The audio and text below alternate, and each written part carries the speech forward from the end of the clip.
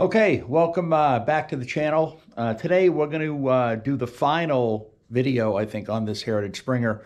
All the work is done. There's a couple small things I got to do, but I'm not doing a video on them. You know, one is putting the windshield on and the engine guard. Uh, I'm not going to do a video on that. That's, you know, pretty easy stuff to do. So let's take a quick walk around the bike. We'll start it up, see how it sounds, and then I want to talk a little bit about some parts that were added to this of parts that I should have bought Harley OEM rather than aftermarket. So let's take a walk around and we'll check out what was done. All right, so it's all back together. Uh, as you watch the videos, front end was completely disassembled, taken apart. Front wheel bearings were repacked. Uh, we got new chrome controls up here. Risers were all helicoiled. Uh, new mirrors. Uh, I took the bezel off the speedometer and cleaned that. That was all fogged up. Put that back together. Um, anything on this side? Well, we get some new plugs, and I'll show you the the the uh, alternate plugs other than the Harley plugs. Nothing really done a whole lot on this side. Uh, we come over here. We got new rocker covers, top and bottom. Uh, of course, we did the twin cam, the uh, cam chain tensioners, which is what we wanted to do. New brake lines, front and rear. Uh, what else? Uh, new lifters. And, you know, of course, all new gaskets in the motor. The, the cylinders were taken out, rehoned. Pistons were cleaned. Rings were cleaned. Uh, and it sounds pretty good. So let's uh, start it up and uh, we'll take a listen to it. Okay, so we get the fuel on, choke out. It's a little cool in here. I think it's about 55 degrees in here. So let's uh, hear what it sounds like.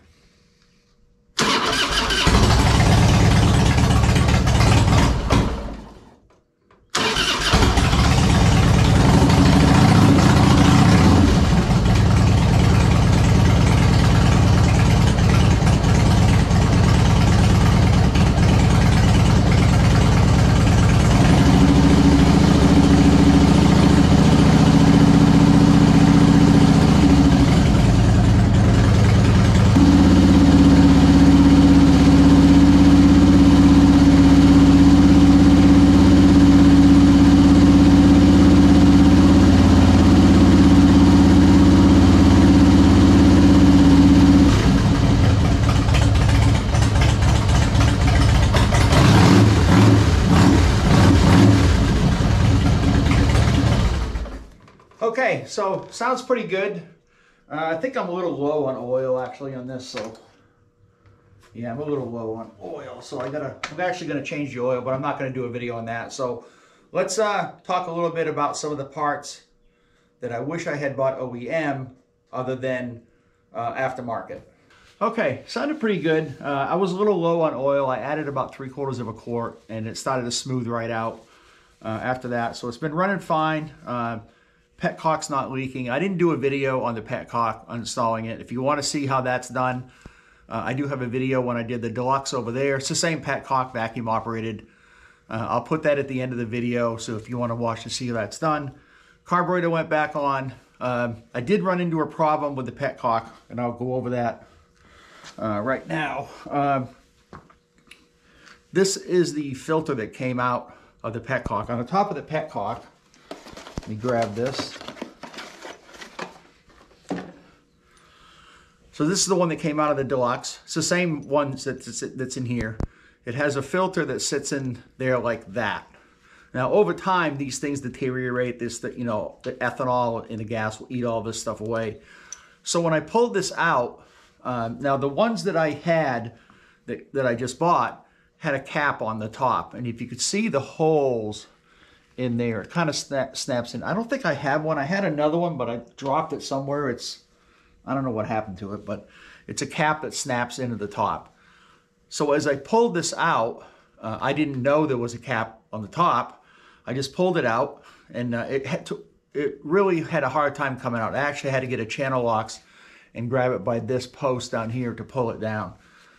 When I put the new one in, which was white. I don't think I have a, there was actually two that came in the kit. There was a long one and then one this size. So I took this size because this is the one that came out.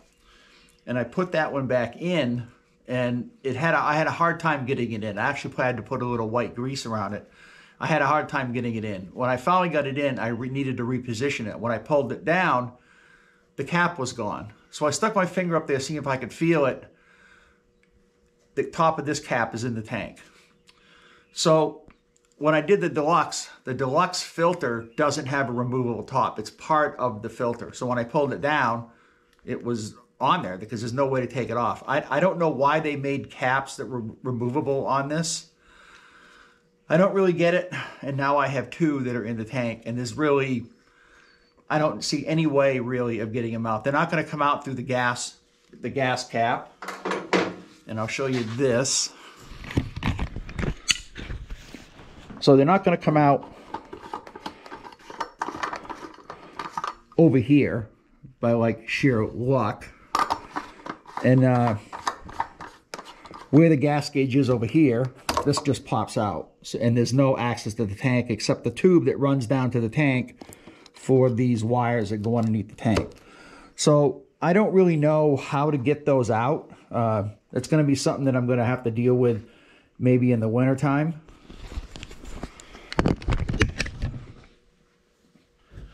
Uh, they, they don't really pose any problem because there's, you know, the fuel is normally with the cap on is drawn from the side.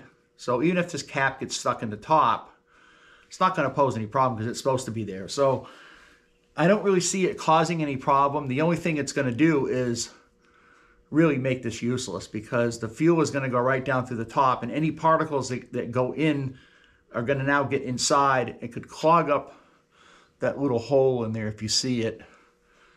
So that's the only concern is if you have some big pieces that get clogged in it. Now, what I'm planning on doing, I actually have to go pick it up today. I'm going to put an inline fuel filter in between the petcock and the carburetor. So if anything does come down and it manages to get out of the petcock, it won't get in the carburetor. And I'll probably take this apart again this winter to take the petcock off. And I will just buy a Harley one. Now the difference in price with the Harley one for the Deluxe cost me 30, I mean, cost me $79 this kit that I bought that had the two of these in it with the petcock cost me 39 So by the time I have to deal with taking the tank off and trying to get everything out of the tank, I'm not even sure if I could get those caps to the other side of the tank. I don't think there's any big crossover in, on the top of this tank that it will allow it to go over. That's why you have this crossover line underneath so fuel can go from the fill side over to this side. Uh, it's not a two-piece tank. If you look at the shovel, the shovel, you have to fill both sides of the tank. It's a two-piece tank. There is a crossover in the middle, so you have to actually fill both sides of that tank when you fill it up. Uh, Sportster right here only has one side. It's one big tank. The deluxe tank is the same as this tank. It's the same type of tank. Has the the uh, fuel gauge up here. So I don't really expect to ever get that out. I I'll try, but I'm not really holding my breath on it. So that's a part that I would, if I had to buy it again, uh, I would buy the Harley part. Uh, the second part is the rocker covers. Now, if you watched the progress of this bike, the work I did on it, I spent probably a couple weeks trying to troubleshoot why that rear cylinder was not getting any compression. I took the I took the cams out. I relined the cams. I thought maybe it was a timing issue. I, then I thought it was a gasket issue. Then I thought it was a cylinder issue. Uh, I could not figure it out. And finally, what I did was I took a caliper and I measured the aftermarket lower rocker box covers that I had. And the front one, between the front one and the back one, the back one was machined two thousandths of an inch higher than the other one that came in the kit. And that two thousandths of an inch caused the exhaust valve to stay open all the time. Even if you put it, bolted it down the way it should, torqued it down, because that was machined wrong, it kept that valve open. Uh, I ended up putting the original lower rocker uh, box top back on it and you can see it's starting up fine. So I probably would not buy rocker covers again aftermarket, uh, or I certainly would check them with a caliper before I put them on. Uh, the front one seems fine. The front one is the aftermarket one. I don't have an issue with it. So uh, there is a little bit of a temperature uh, difference in the front and rear cylinder. I think there's like a 20 degree temperature right now. I think it was 194 was the front and 175 was the back. Of course, that's in, in, in this environment. There's no air going over it. So anyway, those are the two pieces that I would definitely buy OEM. All the other stuff that I bought that was aftermarket, I don't think I bought anything. Uh, well, I bought the buttons, I think. The buttons for the hand controls were Harley. That was a Harley part. Those These didn't come with chrome buttons. Uh, trying to think what else, if I bought anything else that was OEM. I don't think it was. I think everything else was, was aftermarket. Um, so anyway, that's, you know, that's my take on that. So as far as the plugs go, the stock plug uh, for this bike is a Harley plug and it's 6R112. Let me see if I can get that in. I don't know how well that's going to come in, but says 6R112. The equivalent is an Autolite 4164. So the gap on these plugs is 38 to 43. I have them set to 40 and I'll check it. I'll check the plugs after, you know, maybe 100 miles to see how they're doing. I might have to increase the gap or, or decrease the gap depending upon what the plugs look like. Uh, it's going to have an oil change. I won't do a video on that. So I'm trying to figure out, you know, what the next course of action is. Uh, definitely, I got to get the bike off. I got to get it down the road and test it. Same thing with the shovel. I got to get the shovel off because I want to do an oil change in the shovel because the shovel is going to be my primary ride this summer. And then in this fall, then we'll start tearing into the shovel and getting the motor out of that and getting the motor rebuilt on that. So uh, I think that's probably going to be it. I don't think there's any more work to do on the Springer right now unless there's some catastrophic thing that has to happen. Gonna wrap it up for this video. I got my truck back today, so the first phase of that truck is done. If you saw the shorts, uh, that I had all the mechanical work done today, so in another couple days, it's Thursday now, so on Monday it's going to the body shop. They'll have it all week. Uh, and then uh, after that, we'll get these bikes out on the road. Because I want to have the truck here before I take any bikes out, just to make sure nothing's going to happen. Uh, you know, because I haven't really, I haven't tested the at all, and I've only ridden the, the shovel twice since I had it. So I want to make sure everything's fine before I take it out on the road, and I have a, a truck here to haul if I have to with a trailer. So anyway, that's going to do it. Don't forget to subscribe. Thanks for watching, and I'll see you in the next video.